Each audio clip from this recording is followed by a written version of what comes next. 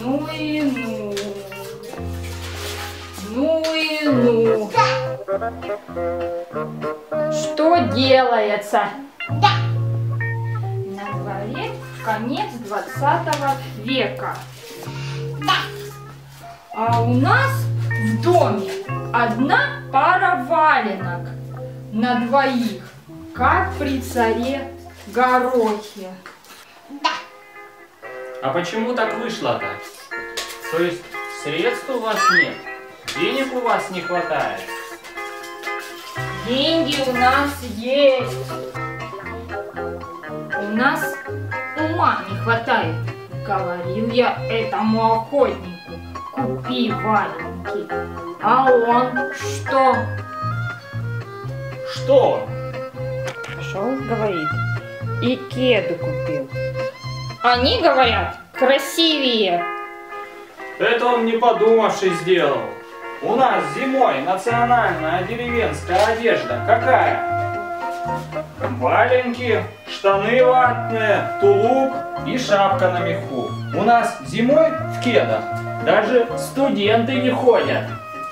Балбес он, балбес.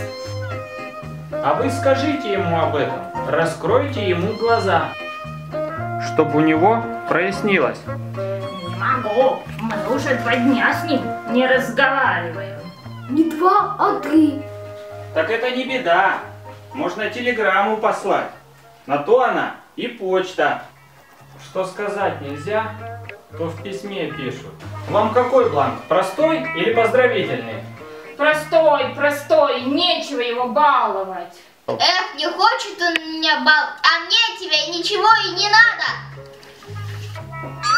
У меня простых нет, только поздравительные.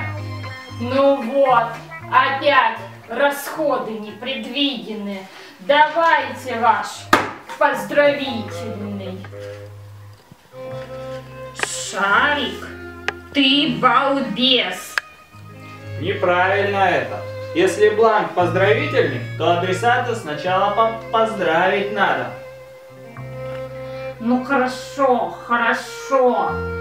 Поздравляю тебя, Шарик. Ты балбес. А дальше, дальше что писать? Обычно про погоду пишут. Погода у нас хорошая. Хорошая погода. Два дня метели воет. Гав, всю охоту замело. А, а вы помолчите, товарищ пес. Будете ответ писать, про свою погоду напишите. А я ничего писать не буду.